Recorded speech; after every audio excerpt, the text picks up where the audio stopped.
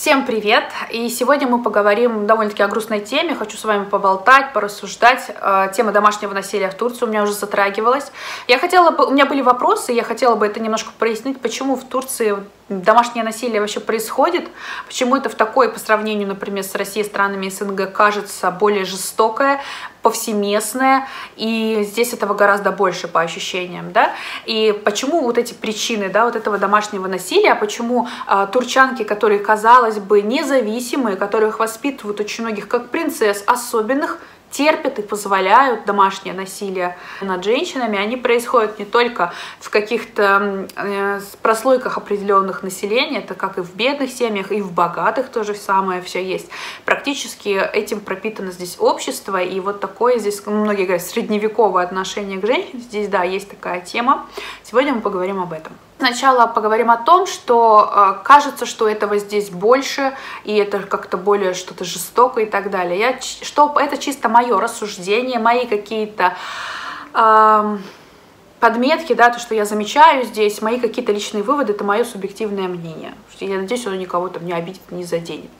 Э, у нас в России домашнее насилие тоже навалом. Какие у нас ужасные приняли недавно законы, да, о домашнем насилии. Это просто ужас. Просто об этом меньше говорят, и это более приемлемо у нас, потому что даже у нас есть пословица «бьет, значит любит, надо терпеть».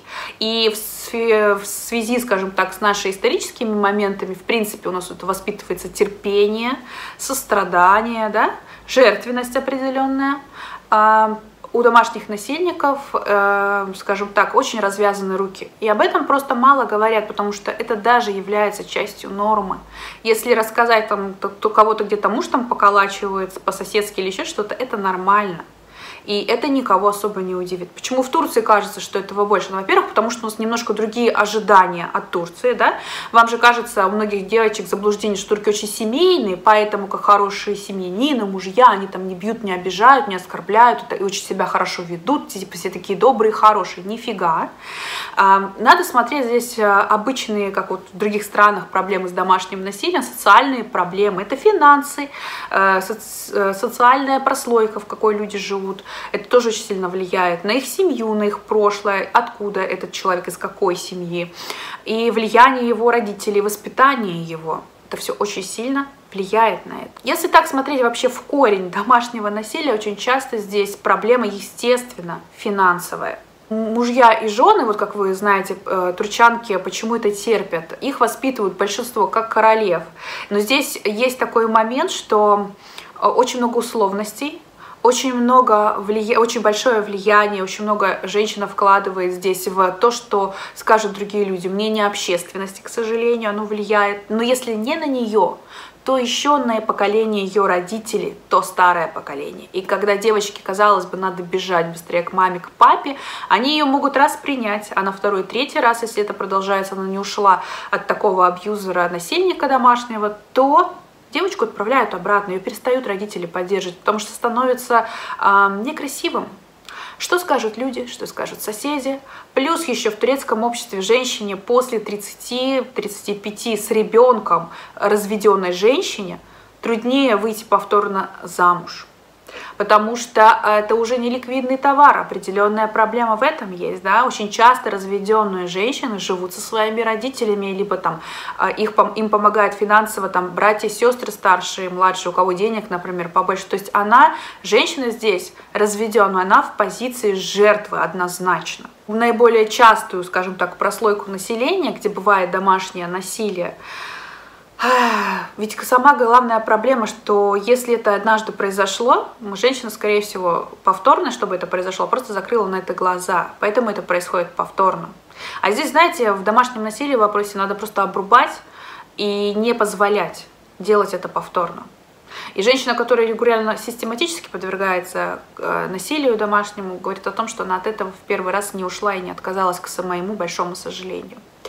Не забываем о том, что допустим, сейчас трудно о статистике говорить, потому что страна большая. Я живу в городе, скажем так, отчасти эмансипированном, где женщины работают, и т -т -т -т -т, это Стамбул.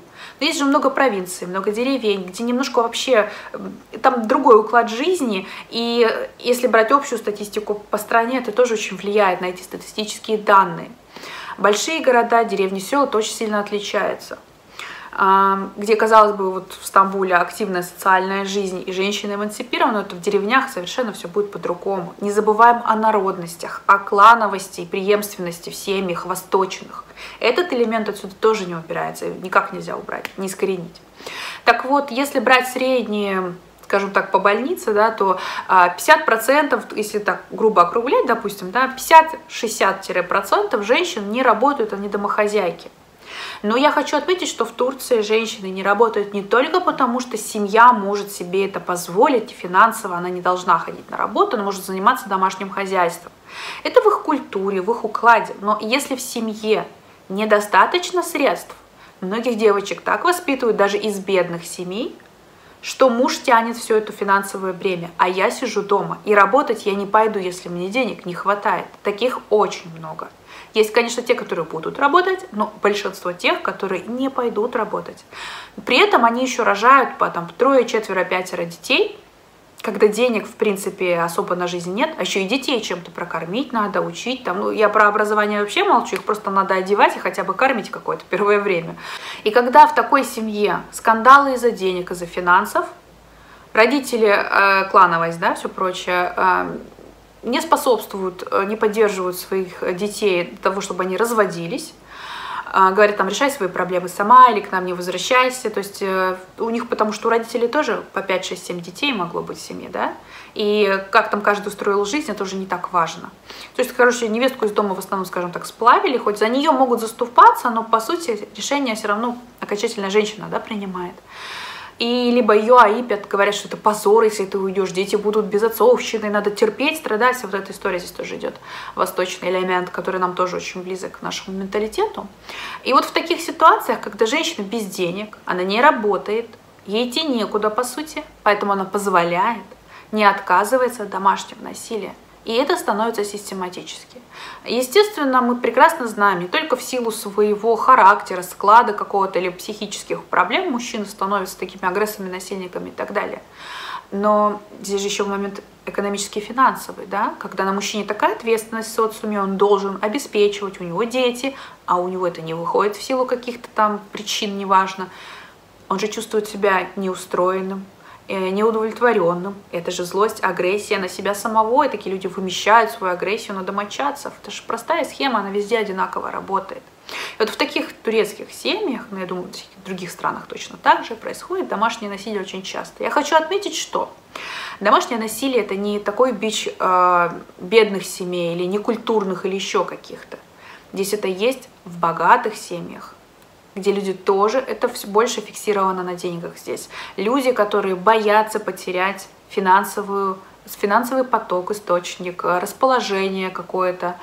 А, я прекрасно, у меня, как бы правильно выразиться, я знаю здесь девочек, а, и турчанки, и русскоговорящие, которые замужем за обеспеченными мужчинами. Но у них экономический финансовый абьюз, когда муж денег не дает, или он еще дает их очень мало, контролирует и так далее – который может там давать пощечины, подзатыльники детям. У него это считается нормальным. Я такую эту семью знаю. Они живут очень хорошо экономически, со стороны они хорошо выглядят, ухоженные и все прочее. Далеко ходить не надо. У меня, знаете, скажем так, психопатическая семейка по соседству моих соседей. Я постоянно слышу, как они орут и ругаются. У них однозначно в семье там какой-то диагноз есть, э, у них неуравновешенный там практически все. С виду это очень обеспечены, хорошо одевающиеся, хорошо выглядящие, культурные люди. Они на публике себя ведут просто идеально. Но была такая ситуация, когда эти соседи ко мне, скажем так, за помощью пришли, у них там бабушке было плохо, они поймали тромб, короче, я вызывала скорую, им помогала. Я была у них дома, мы так познакомились, скажем так, у них очень хорошо обставлена квартира, дорого, социально очень приемлемая семья. Но какие я слышу постоянно за стеной скандалы, вы себе не представляете, как они орут, как они друг друга обзывают, как они, я думаю, там дерутся, скорее всего. Это слышно все очень сильно. И это же говорит о том, что семья больная, понимаете? Хотя внешне социально очень приемлемые люди. Но я скажу так, по своему типу, складу, характера личности и психики своей, я не смогла в такой семье жить, либо с таким мужем, это просто ужасно. Они не могут спокойно разговаривать, они просто орут. У них такой стиль общения, просто орать. Им наплевать, что соседи что-то слышат, я это слышу, они прекрасно все это знают. Дело не в шумоизоляции квартир. а в их поведении в семье, что у них это считается нормой, к сожалению. Я хочу отметить, что сейчас тенденция, кто рожает по много детей в Турции. Много детей это 3 и больше, 3, 4, 5. Это либо бедные семьи, их просто рожают, там не предохраняются контрацепции, там нет. Им что 3, что 5, что 6. Они там, не знаю, каким-то образом их прокормим, и все. Они не думают образование, там, как будут устраивать своих детей в будущем. Либо есть семьи богатые, в которых есть средства на это, они тоже рожают много детей, потому что у них есть чем детей обеспечить. Средний класс сейчас в Турции в связи с экономическими проблемами, что сейчас в обществе, цены там на образование и так далее, родители, которые среднего класса, они думающие, они, в принципе, составляющие костяк страны. Я бы не сказала, прям интеллигенция, но все равно эти люди рожают по одному, два ребенка. Бывает по три. Но не четыре, пять, семь. Потому что эти люди, когда рожают детей, они думают о том, чем они будут их кормить, зарабатывать на это, кем станут их дети, думают о их образовании и так далее. Я по своим чисто наблюдениям могу сказать, что наблюдая, когда семьи социально средние живут, у них более-менее уравновешенные отношения, они не дергаются, у них, они, да, рассчитали, там, допустим, там, двух детей родили, трех, у них есть на это деньги, у них меньше каких-то поводов для скандалов, трений и так далее, они живут гораздо спокойнее, более гармонично, нежели экстра какие-то богатые люди, либо экстра бедные и так далее. Мне кажется, это вообще во всем мире и везде. Так что почему турчанки терпят к себе отношения, когда их воспитывают царевнами, королевами и так далее? Очень просто подводим итоги. Первое – это общественный аип и позор. Быть разведенкой с детьми не ликвидно. На нее мало посмотрят других каких-то мужчин потом после развода. Никому она со своим прицепом с детьми тоже особо не нужна. Второе, потому что у нее много претензий, там запросов, вот это воспитание идет женское, она знает себе тоже цену. Второе. Женщины социально, экономически незащищенные, они зависят от мужчин. И они не хотят идти работать, даже если их припирают, ну, такие есть категории, скажем, тогда много таких. У кого припирает финансовая проблема, но работать они не пойдут. Но тем самым они себя ставят в плохое положение, они зависимы полностью от своего мужа, психопат он или нет. А, бьет он их там дома, калечит или нет. Они привязывают вот это нет экономической, финансовой, женской независимости, к сожалению. Это очень во многих странах тоже на это влияет. Это экономический, социальный вопрос. И третье, на мой личный взгляд, да, это социальное, скажем так, научение от общества, от своих родителей, что много детей, их образ жизни – они рожают, например, много детей, которые э, нужно прокормить, а это финансовые проблемы, денег на все не хватает. Вот этот вот цикл. Скандалы, конфликты с мужем из-за денег, недовольства какие-то, как э, результат э, побои бывают и тому подобное. Вот этот вот цикл запускается. Вот так они в этом живут и терпят. И момент такой культурный их терпеть. Либо ты жертва, либо ты терпишь, страдаешь. Казалось бы, да, я королева-принцесса, до определенного момента турчанка она выбирает себе мужа. Вышла замуж, видела, кого выбирала, вот ты с ним и живешь. Ну, либо там родители выбрали, это от ситуации зависит то, как там живет, да. Здесь очень много всяких вариантов, может быть, это неоднозначный момент. Так что вот такие факторы, вроде бы, это очень парадоксально, мы, королевы независимые, знаем себе цену, но когда, скажем так, попадает она в этот брачный капкан, вырваться из него довольно-таки трудно социальные, семейные, социум и личные вот эти вот э, моменты позора. И социальная незащищенность и не независимость женская. Так что, девочки, кто здесь живет в Турции, вообще в любых других странах мира, особенно здесь, в Турции, я вам советую быть хотя бы чуть-чуть на йоту, независимой от своего мужа экономически и финансово.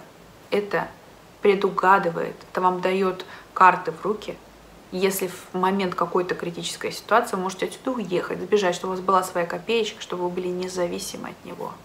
Имея маленькую независимость, это ваш стерженек такой, противостоять своему мужу, если у вас с ним плохие отношения, чтобы вас не с грязью смешивали и ни во что не ставили, чтобы иметь свой какой-то голос и свое «я». Имейте это в виду.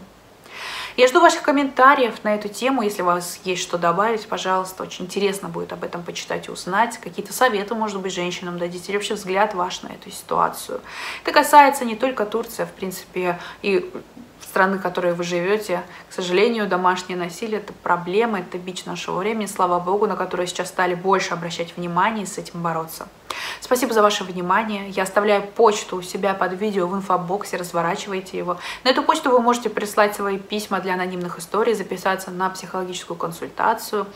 Э, также ставьте лайки на это видео, если вам понравилось. Либо подписывайтесь на канал, мне тоже будет очень приятно. Спасибо за внимание, скоро увидимся, всем пока.